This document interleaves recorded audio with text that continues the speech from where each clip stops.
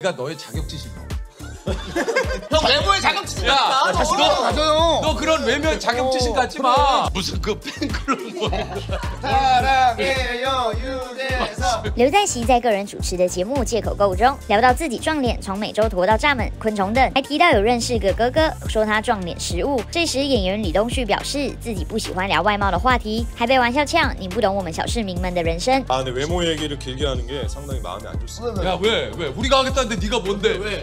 어 네가 형. 네가 뭐야 그러니까 여러분들의 외모가 어떻다 그 말을 하는 게 아니라 네가 어떻다고 생각하는 거야 야 소시민들의 야, 삶을 우리- 알아 아니야. 아니야 그- 이런 외모 얘기할 때 내가 무슨 한마디 하면 공격받는 포지션에 놓이는 걸 너무 아, 잘 느껴서 그냥 이 외모 얘기할 때 야, 아무 말도 안 그거는 했다. 네가 너의 자격지심 형 외모에 자격지심 야, 있다. 자신감을 가져요. 너 그런 외면 자격지심 갖지 마 자신감을 가져. 最后，刘在熙还鼓励他不要对外貌有自卑感，要像他们一样有自信。这种临场反应也只有大神做得出来。另外，曹世浩与南场熙还拿出刘在熙周边，现场根本就是粉丝团聚会。 무슨 그 팬클럽 뭐 사랑해요 유재석。